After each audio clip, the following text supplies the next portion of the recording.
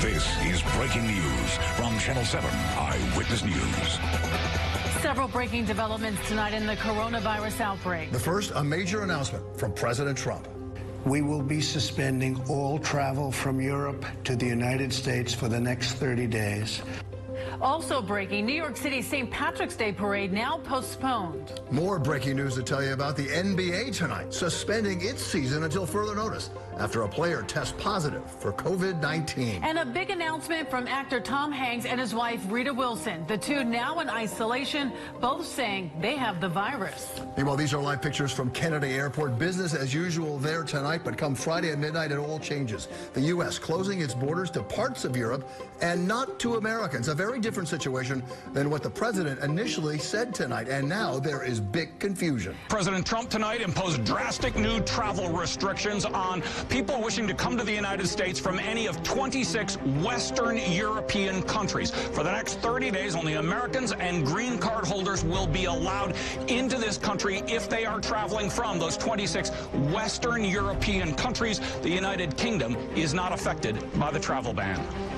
From the Oval Office tonight, the president announced his boldest steps yet to combat the nationwide spread of the novel coronavirus. To keep new cases from entering our shores, we will be suspending all travel from Europe to the United States for the next 30 days. The restrictions include people and cargo and will be in place for at least the next 30 days. The United Kingdom, though, is not included in the new travel ban president did seem to blame European inaction early on for cases that migrated here. And despite record drops in the market recently, the president says the economy is sound. This is not a financial crisis. This is just a temporary moment of time that we will overcome together as a nation and as a world. We can't just wait anymore. Governor Cuomo has said the president's lack of leadership has resulted in too few tests. Home of the largest cluster of coronavirus cases in America, there was no waiting at the barbershop, no one drinking at the local pub.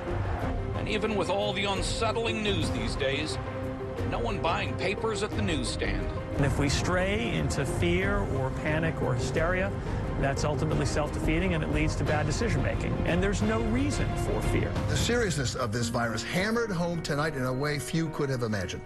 The National Basketball Association, pro basketball, tonight suspending its season because of the virus. How long will it last? Nobody knows yet. The NBA just one of many big changes to sports today from this coronavirus.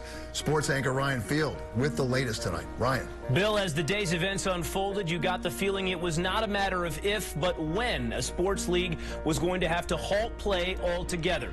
Tonight, that time had finally come. The NBA announcing it will suspend play across the league at the conclusion of tonight's schedule. That decision stemming from the game that was supposed to take place in Oklahoma City between the Thunder and the Utah Jazz. But before the game even began, Jazz center Rudy Gobert had been taken to an area hospital where he tested positive for the coronavirus. Once that happened, the league made the decision to call off the game and then halt play throughout the league until further notice. The NBA will use the upcoming hiatus to determine the next steps going forward. The NCAA also making an historic decision today, announcing the upcoming NCAA tournament will be played without fans in attendance. We'll have more on that story coming up later in sports. Sade? Okay, Ryan, thank you. And more breaking news. The iconic St. Patrick's Day parade in Manhattan now also postponed because of the coronavirus. Governor Cuomo making the announcement late tonight. 259 years and never canceled, not even once. One year when there was a blizzard, the Grand Marshal marched up Fifth Avenue, determined to keep the street going. But yes, it all ends next week. Another casualty of the epidemic. St. Patrick's Day Foundation held its annual gala in Midtown tonight, with its 259-year tradition threatened by a global pandemic. Late tonight, Governor Andrew Cuomo said the potential for large-scale transmission of COVID-19 is a risk authorities are unwilling to take. There's going to have to be major shifts in society short term. Long term will be okay, but short term, there's going to be major shifts that government is going to have to enact. We all want to be part of it. It's the biggest St. Patrick's Day parade in the world. 200,000 marchers 2 million spectators, larger than any parade anywhere, including Ireland. But with so many events being canceled across the nation and around the world, the fate of this year's parade seemed inevitable. Too many people crowded together in a time and place where authorities were urging New Yorkers to avoid close contact. Tonight, parade organizers say the governor's recommendation that the parade be postponed was regrettable but understandable. Parade President Tommy Smith.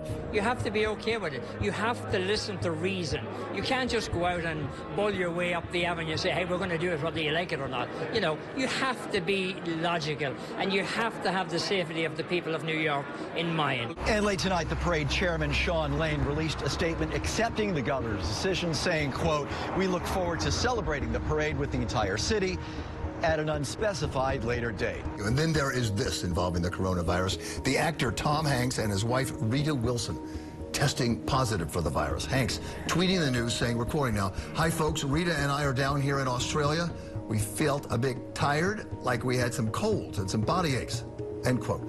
The post includes a picture of a rubber glove and a garbage can. Hanks also wrote that he and Wilson will remain in isolation as long as is deemed necessary. Now, this story is changing so much just within the past three hours, and it's going to keep changing. And we invite you to stay with us on air, online, and download our mobile app as news continues to break on this virus outbreak.